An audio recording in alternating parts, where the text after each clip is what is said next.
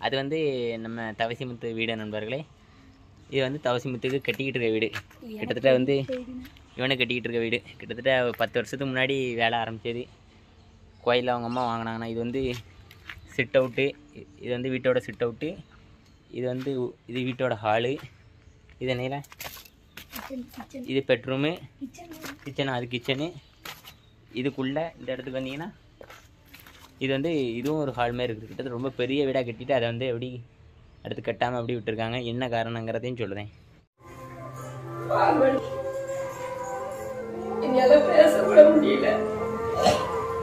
ஆனா உங்க அப்பா அவங்க எனக்கு கே விட்டுனியே உங்க அப்பா அவங்க மூணு வருஷம் ஆக போதுடா உங்க அப்பா அவங்கடா ஆனா இந்த மாதிரி கல்யாணம் முடிச்சுட்டு பிள்ளையும் பொண்டாட்டியும் தெருவில் விட்டு போறது மனசத்தன்மையே இல்லை. யாருமே இந்த பாவத்தை செய்யாதீங்க. பச்சை பிள்ளைகளை வளர்க்க நான் ரொம்ப படாத படப்பட்டுக்கிட்டு இருக்கேன். கஷ்டம் ரொம்ப பட்டுக்கிட்டு இருக்கேன். இத இதுல இருக்கிறதுதான் என்னோட புருஷன் என் பிள்ளைகளுக்கு தவிர்ப்பேன் ஆனா நான் நம்பி வந்த என்ன என்னையும் என் பிள்ளைகளையும் தெருவில் விட்டுட்டு ஒரு மூணு பேர் ஒரு விவசாரியோட ஓடி போயிட்டுது. எந்த மாதிரி வாழ்க்கை யாருமே வரக்கூடாது. இந்த மாதிரி உள்ள வாழ்க்கை யாருக்குமே இருக்கக்கூடாது. தெருவில் யாருமே விட்டுறாதீங்க இது முதலும் கடைசியுமா இருக்கட்டும். யாருக்குமே என் வாழ்க்கை வர வேண்டாம். என்னோடய இது முடியட்டும். யார் யாரும் நம்பி வந்த பொண்டாட்டி பிள்ளைல ஊர் உலகத்துல இருக்கும் வீடு தராம இருக்கும். ஆனா என்ன மாதிரி கிடையாது.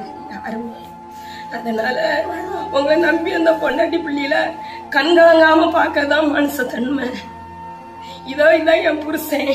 என் புருஷன் பேர் கிருஷ்ணமூர்த்தி.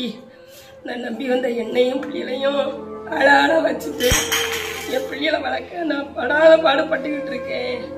போன வருஷம் அந்த ஃபேண்டை எடுத்துட்டு வாமா அந்த ஃபேண்டு எத்தனை ஒட்டு போட்டு என் பிள்ளைகளுக்கு அதுமே டெய்லி ஃப்ரீயாக தைச்சு கொடுத்தது. நான் அந்த ஃபேண்டு வச்சு என் பிள்ளைகளை அக்கம் பக்கம் ஸ்கூலுக்கு போகும்போதெல்லாம் அவன் தவப்பை ஏன்டா அவன் தவப்பை வாங்கி தந்ததா? அவன் தாய் வாங்கி தந்ததா? அப்படிங்க கொடுமை யாருக்குமே வரக்கூடாது.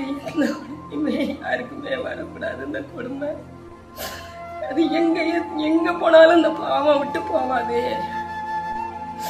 அதனால இந்த துரோகத்தை யாருமே பண்ணக்கூடாது? இந்த துரோகத்தை யாருமே பண்ணக்கூடாது?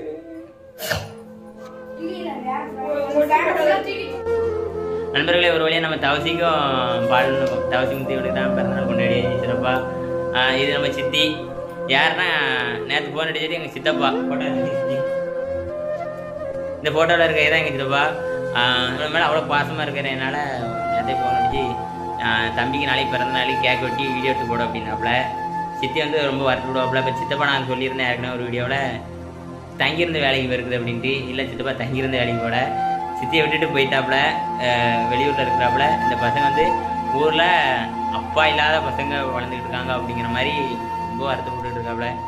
சித்தி ரொம்ப எமோஷனல் ஆகிட்டாப்புல அந்த வீடியோ உங்களுக்கு நான் அனுப்புகிறேன் இருந்தாலும் அவிய மனசில் இருக்கிறத அவங்க சித்தப்பாவுக்கு இந்த வீடியோ மூலியமாக சொல்லணும்னு நினைச்சாவ அதனால அதை சொல்லணும்னு நினைக்கிறாங்க சிவா பார்த்துக்கிடுங்க உங்க ஆசைக்காண்டி இப்போ தம்பியெல்லாம் எடுத்து போட்டாச்சு.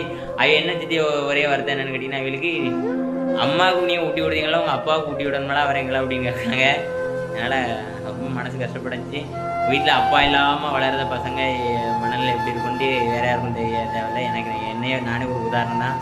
அதே தான் நம்ம தம்பி பாடணும் தவசிக்கிட்டுருக்கோம் இந்த ம நான் மாதிரி யாருக்கும் வரண்டாம் அப்படிங்கிறது தான் வேண்டிக்கிட்டு தேவை காண் தகுதி பிறந்தநாள் மூலியமாக இந்த வீடியோ உங்களுக்கு அனுப்பிவிடுறது மகிழ்ச்சி உங்கள் பையன் மேலே நீங்கள் வச்சிருக்க பாசம் அங்கேருந்து இல்லாமல் உள்ளூரில் இருந்து அவனை கூட இருந்து செலிப்ரேட் பண்ணால் வே வேறு லெவலில் இருக்கும் அப்படின்னு நினச்சேன். கண்டிப்பாக அடுத்த தடவை உங்கள் அப்பா கூடயே சரியா? ஹாய் சொல்லிடுங்க டாட்டா சொல்லிடுங்க சரி போயிட்டார். தகப்பன் என்பவன் தன் மனைவியையும் பிள்ளைகளையும் தவிக்க வைப்பவன் அல்ல அவர்களை தாங்கி பிடிப்பவன். இந்த தாயின் கண்ணீரில் அந்த சிறுவர்களின் எதிர்காலம் சிறக்கட்டும். அவர் கணவரின் ஞானக்கண் திறக்கட்டும்.